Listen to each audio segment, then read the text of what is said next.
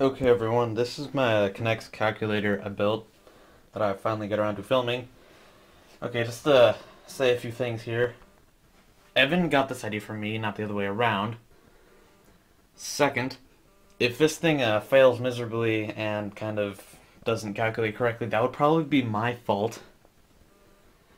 And uh, there was something else I was gonna say, but I forget it, so I'm just gonna move on. Okay, let's just start off real simple here. Uh, do um, 1 plus 1 equals 2. Okay then. Now I can do uh, even harder than that. Let's do 1 plus 4, which is 5, plus 5 again, which is uh, 1 plus 4. Up there's one of my failures again. Now we want our result. So we just let that flip down, and then you pull this back, and you get your answer of 2 plus 8, which is 10. Uh, hold on, need some more golf balls. Okay. Now we're going to do something even more complicated, which is uh, 22 plus 19. Now 22 on here is represented by that was my fault again. Sorry. It has to be put in right there. Oh, come on.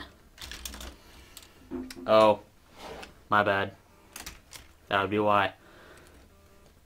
Okay, 16. There we go. Fifth time's a charm. Or fourth, whatever, I forget. Okay, so there's 16. Plus 4. Plus 2. There we go. That's a 22. Now, 19 is 1, 2, and then 16 again. Now we want our final result, you just clear those out. And then you pull back this lever, and you get your final result of 1, 8, and 32, which is 41.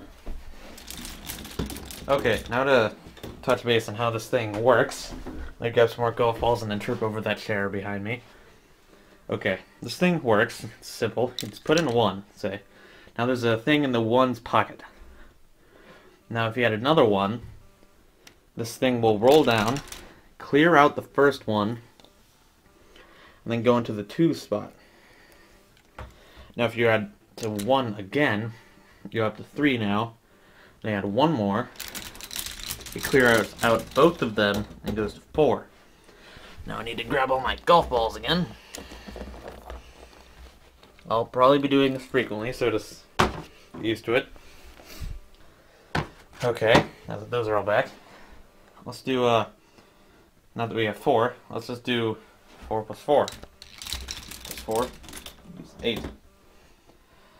Now, just a little simple mechanics. We put that in there. Now, to show you how this works, I would add another ball, but because it's easier not to do that, I'm just going to push this bar down with my hand. See, it's awesome. Now, when you push this lever, these that black and orange thing right there moves out of the way, then this ball drops down. It rolls down the ramp, down the ramp, down the other ramp, and then into the little ball bucket. Okay. Now there's two bars on here that you use to get your results. First bar, see, you have a... That wasn't it. That bar, that wasn't even a bar, that's just one of the levers. That bar is used to, once you flip it down, it's used to make those so that the balls don't roll through and then you can actually see your answer. Then this bar is for just pulling back then those will hit that. And then knock those down into that rest. And it's simple mechanism. It's amazing. Look at my pants, they're awesome. And then, um, here, let's do this. And then you flip that back. Then that gets you uh, one. There goes a golf ball. And then you want to clear that out. Just do that, and it rolls down. Okay. Now, just because it looks really cool, we're going to do 63 plus 1. And 63 on here is one ball in every slot. So hold on while I do that real quick. There's one more and 32. Okay. Now we are going to first you have to raise that up, lock that. Then you add one to it. So you just do that. Wow, I don't think that has ever happened before. That was actually the calculator's fault. Well, we'll just start off where it left off. Goes down, clears out everything. Goes into the 64 pocket. Now to get that out, you just poke it down. Get my golf balls back. Okay. Now this thing can also do some basic multiplication. Like if you wanted to do 2 times 4, what you do is you put a 2 in, and then you put another 2 in, and you put a 2 in again, and then you put a 2 in for the fourth time. And voila! You get your answer of... I don't know if you can't see that, I'll just pull that lever. Of 8. And one more thing.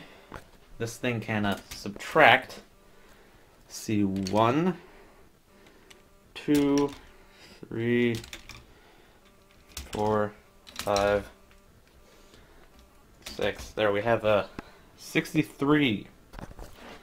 Now we want to subtract um, 39, whatever. So we just hit the uh, 32, and then the 4, the 2, and the 1. And to see what our answer is, pull back the lever, and you get 8 plus 16, which is 24. Okay. So, that, I believe, is about everything here. You can just get one look at the whole massiveness of the construction.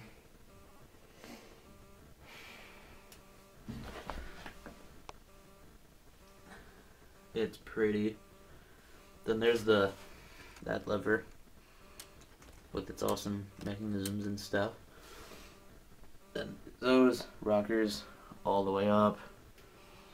Big lever, little lever. Okay.